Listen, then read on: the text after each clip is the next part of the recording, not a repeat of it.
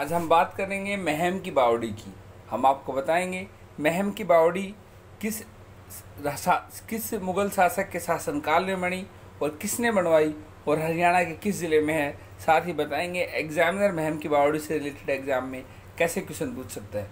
हम आपको बता दें, महम की बावड़ी, महम की बावड़ी रोहतक ज़िले में है और इस ज़िले के कस्बे में स्थित ये बावड़ी बहुत पुरानी मानी जाती है। इस बावड़ी को महम किसान माना जाता है।